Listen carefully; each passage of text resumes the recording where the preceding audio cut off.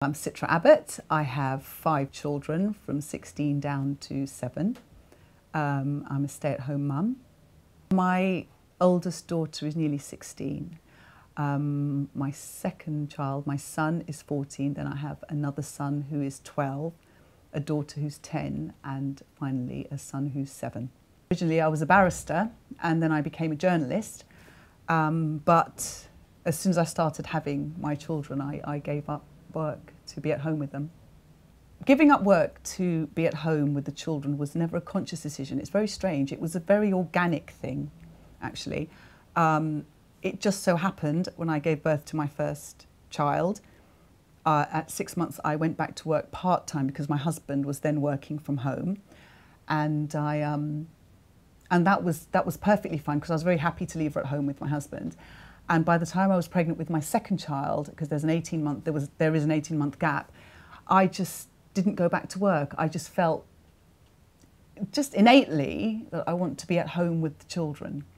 It brought our income right down overnight and it was really, really difficult, but we didn't even talk about it. It was just what we did. It obliterated us. My husband had changed careers. He worked in the city before but um, he had previously done an MA um, in journalism. So we had, so my older daughter had terrible colic.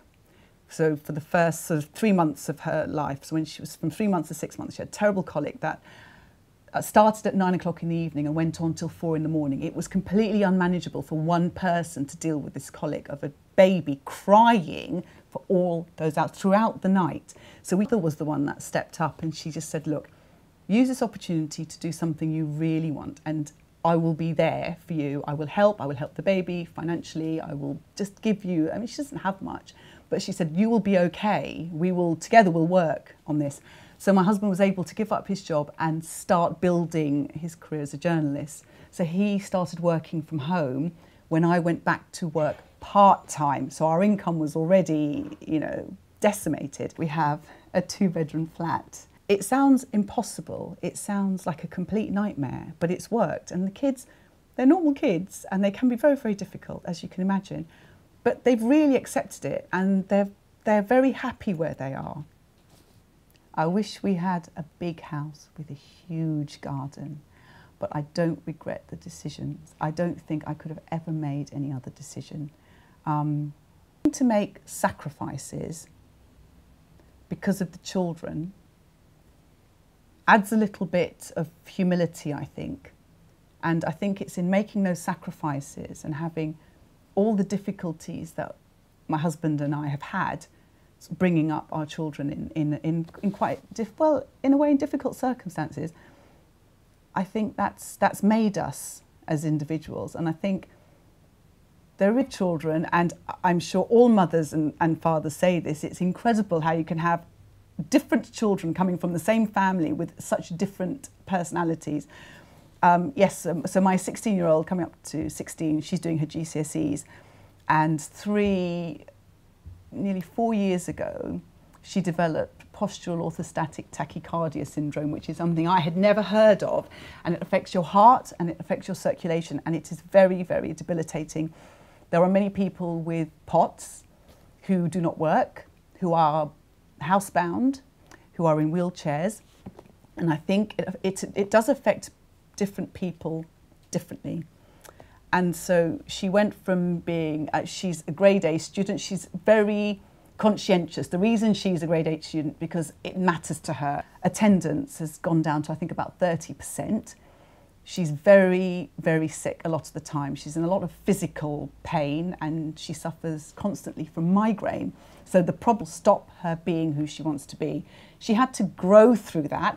I think that's where it has been really important that I've been a stay-at-home mum, really, because I would never have thought, you know, that I would have to deal with, with issues like this.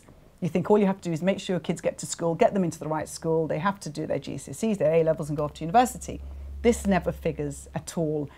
So I'm glad that I was in a position where I could do all the hospital appointments, I could push for the diagnosis, I could fight with the hospital staff, I could get what I need for my daughter. Um, because I had the freedom to do that. I didn't feel I had to answer to my boss. I didn't feel like I know I've got this meeting to go to, my job's in jeopardy, it's going to affect the mortgage. It didn't affect any of that because we don't have anything anyway, but my income was never an issue because it, I don't contribute in that sense. Um, so it's been very important that I've been able to be there for her. You know what? It's still, it, talking about what I do to people that I've just met or if we're in social circumstances, it, it's still a little bit difficult. It used to be impossible. So when I did, when I, when I, when I was out before and people would ask me, the first thing I said, well, I was a barrister and I was a journalist, but now I'm a stay-at-home mum. It was always like that. And it was, it was so ridiculous. And it was a practical thing that stopped me from saying that.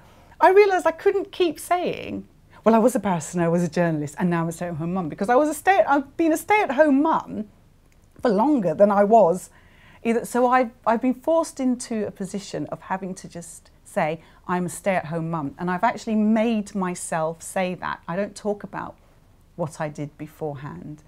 Um, I, it, it's a really conscious decision because I'm so desperate for people to understand that this is such a hard, full time job that's so important. I don't believe my children would be who they are if I hadn't been able to stay at home. And it's not because I, I'm not a tiger mum, I didn't make them who they are, but I do think I've, I have enabled them to have the confidence to be who they are. And it is as simple as being there when they come home from school. So when they come home from school and they drop their bags and they're moaning, that's so important to just be able, for them to be able to just let off steam to have their dinner, to have me available for them whenever they want. And obviously, the, the other side of it is that with five children, all you hear is, Mom, Mom, Mom. There's no peace.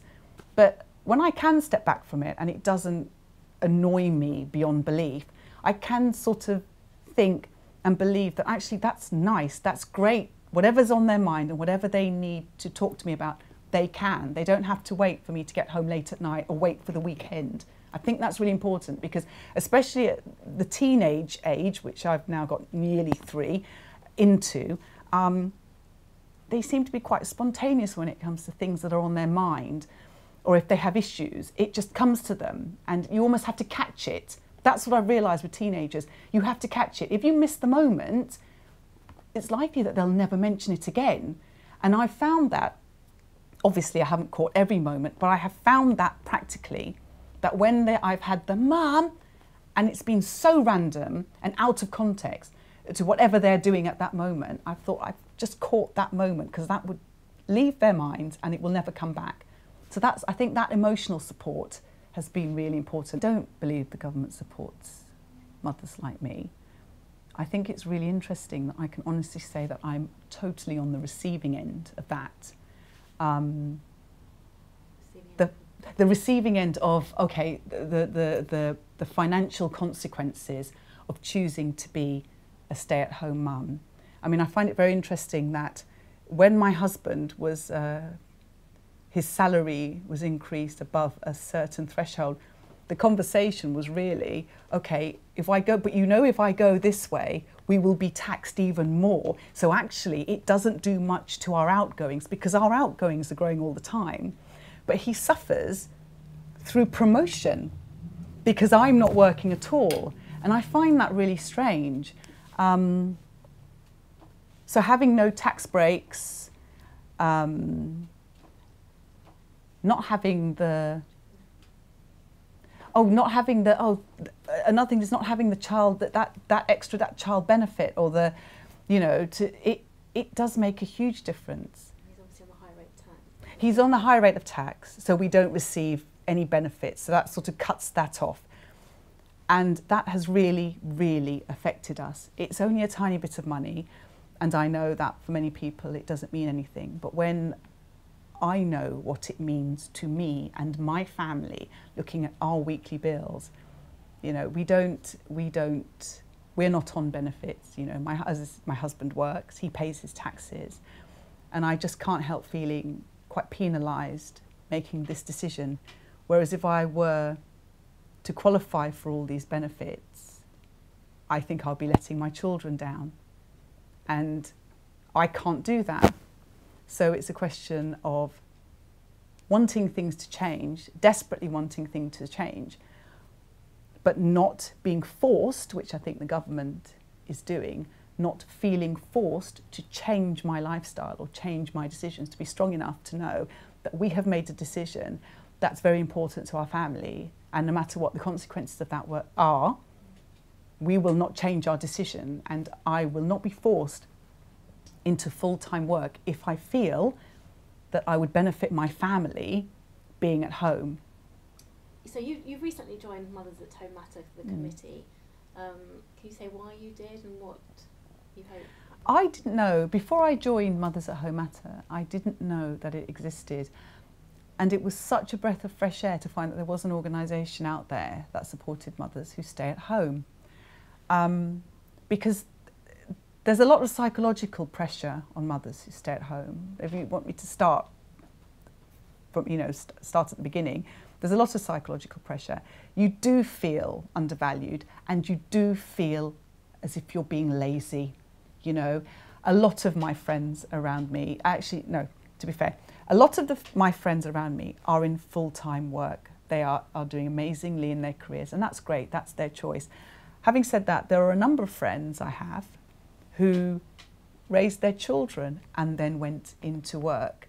Um, I think the problem is the mothers who raised their children and went into work, of course, that was absolutely natural for them, and it's great because they have the time. They've done what they want and they've had the time.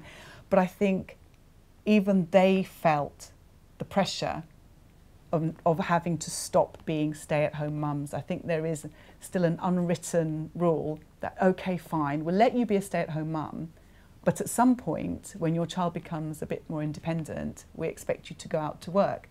So there seems to be this invisible cut-off point being a stay-at-home mum if you want to do it successfully. Yes, I was a stay-at-home mum, but now I'm working because the children are, are slightly older. So I think there is still a, a pressure there. So having stay uh, a mothers at home matter, psychologically, that support means a lot because it does make you more confident at saying I'm a stay-at-home mum and these are the reasons.